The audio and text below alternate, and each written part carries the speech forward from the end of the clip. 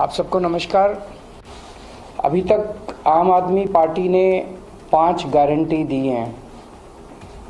ये गारंटी पहली बार भारत की राजनीति में ये शब्द इंट्रोड्यूस हुआ है क्योंकि दूसरी पार्टियों ने इतना वादा खिलाफी की लोगों के साथ। हर बार चुनाव के पहले कुछ ना कुछ मैनिफेस्टो लाते थे और उसके बाद चुनाव के बाद भूल जाते थे। आम आदमी पार्टी ऐसे नहीं करती, हम जो कहते हैं वो करते हैं। And that is the reason we introduce the word guarantee, that it is a guarantee. We are in, we in fact go house to house. हम घर घर जाके लोगों को कार्ड भी दे के आते हैं साइंड कार्ड कि अगर हम काम ना करें तो आप हमें वो कर सकते हैं, बाद में स्यू भी कर सकते हैं। तो आज हम छठी गारंटी दे रहे हैं। पहली गारंटी हमने दी थी कि हम 24 घंटे बिजली देंगे फ्री बिजली देंगे। दूसरी गारंटी हमने दी थी कि सबको रोज़गार देंगे, बेरोज़गार बच्चों को। और जब तक रोज़गार नहीं देते, बेरोज़गारी भत्ता देंगे। तीसरी गारंटी दी थी हमने कि आपको पिलग्रिमेज पे ले जाएँगे, वेलंकनी और अयोध्या और शिरडी और अजमेर शरीफ। चौथी गारंटी दी थी हम लोगों ने कि महिलाओं को एक एक हज़ार रुपये देंगे अठारह साल से ऊपर की महिलाओं को। पांचवी गारंटी थी टैक्सी ऑपरेटर्स को। आज छठी गारंटी दे रहे हैं। That we will form the first corruption free government of Goa. First honest government of Goa, dead honest government of Goa. पिछले 60 साल में 27 साल कांग्रेस का राज था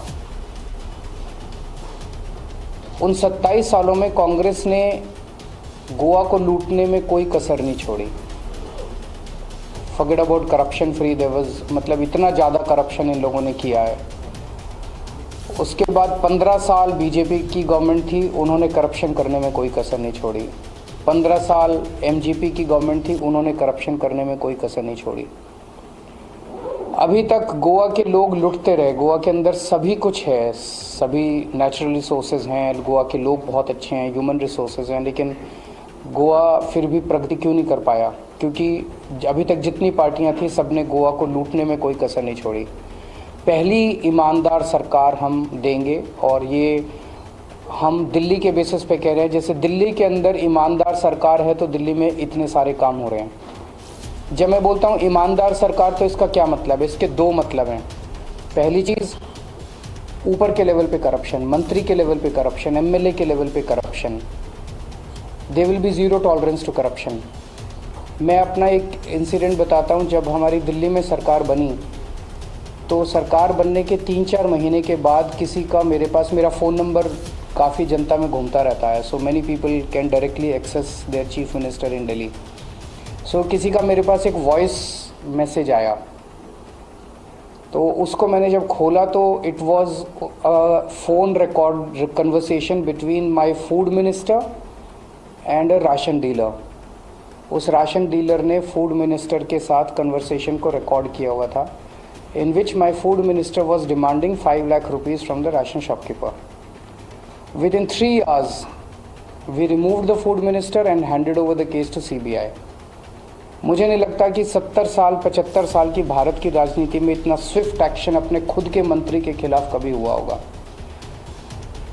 this is the kind of zero tolerance to corruption that we will provide in Goa Goa में पैसे की कमी नहीं है बाईस हज़ार करोड़ का बजट है गोवा में। बाईस हज़ार करोड़ कम नहीं होते।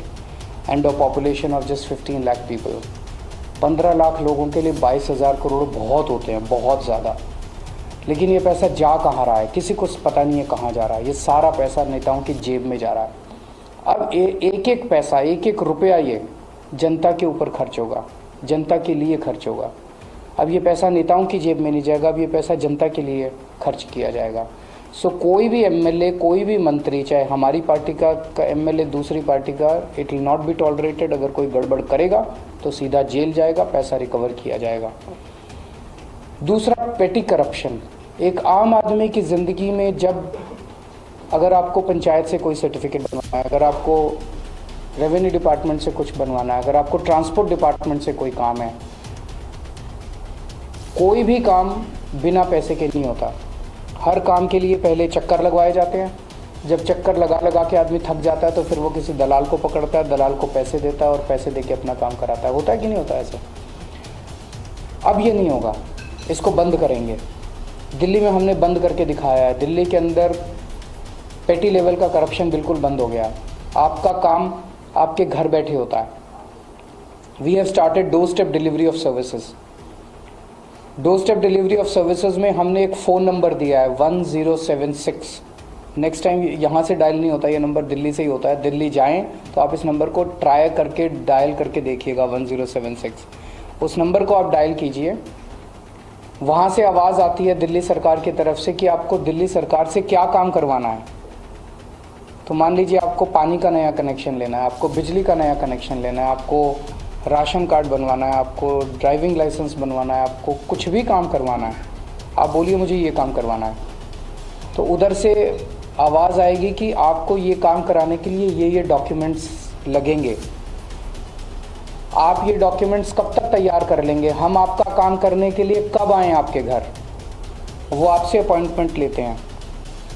अगर आप कहते हैं कि मेरे रात को 11 बजे मेरे घर आना, क्योंकि मैं तो ड्यूटी जाता हूँ, रात को लेट आता हूँ रात को 11 बजे भी दिल्ली सरकार से कोई कर्मचारी आपके घर आएगा, अपने साथ फ़ोटोकॉपी मशीन लेके आएगा, आपके डॉक्यूमेंट्स की फ़ोटोकॉपी लेगा, आपको एक रिसीट दे के जाएगा और आपका जो भी डॉक्यूमेंट है वो आपके घर एक हफ़्ते के अंदर बाई पोस्ट पहुँच जाएगा। आपको कोई छुट्टी लेने की ज़रूरत नहीं है, कोई लाइन में लगने की ज़रूरत नहीं है, कोई दलाल को पकड़ने की ज़रूरत नहीं है। Doorstep delivery of services है, आपके घर आके सारा काम दिल्ली सरकार करती है। यही हम गोवा के अंदर इम्प्लीमेंट करेंगे। चाहे आपको पंचायत का काम हो, चाहे मुख्यमंत्री से काम हो, आपका सारा काम आपके घर आके किया जाएगा। ये हमने किया है, करके दिखाया है, हम हवा में बात नहीं कर रहे, उसी को गोवा में भी इम्प्लीमेंट करेंगे। तो एक आम आदमी को गोवा के किसी भी सरकारी विभाग से काम कराने के लिए पैसे देने की ज़रूरत नहीं पड़ेगी।